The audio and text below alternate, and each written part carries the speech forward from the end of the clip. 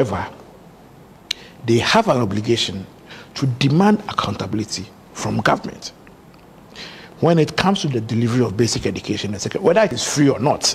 It is there are taxes that make education free, and by by being free, does not preclude them or does not deny them of the opportunity or the right to demand accountability how, how when can, things do not go right. That be done?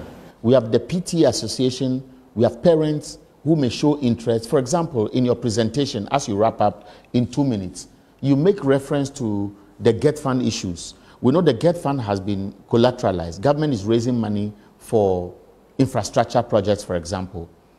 If that is not being done, how can me, poor parent, or under any umbrella, hold government accountable after four years? The concept of civil society is not built on the existence of NGOs and think tanks. It is built on the existence of the culture of civic participation and involvement in our governance. We are only mobilizers. We only mobilize opinions. But parents should see themselves as part of the collective, as individuals having a role to play in demanding accountability, as people concerned that the lack of their participation in the civic space will reduce quality of service delivery in the democratic dispensation. Bear in mind, bear in mind that parents will hit the streets and protest against increasing transport fares.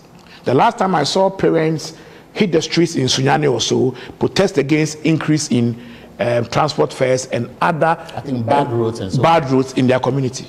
I told a colleague of mine then, a, a parliamentarian, that have you seen parents protesting in Sunyani? I say yes. I am looking for the day, looking forward to the day when parents will hit the streets and demand textbooks for their children. Two years after the rollout of a new curriculum and schools operating without textbooks, parents are not interested in fighting for the education of their children. They are rather interested in enjoying it free and keeping quiet because it's free. We don't complain. So we need a lot of enlightenment within the citizenry, especially within the class that enjoys free public services, especially the lower class.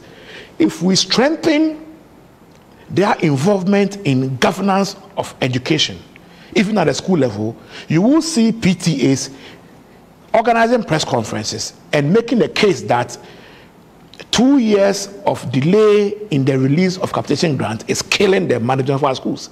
But if PTAs, and don't forget there are parents, if parents at the community level, at the school level, are not ready to speak out, then CSOs cannot do all the work for them. And so we need parents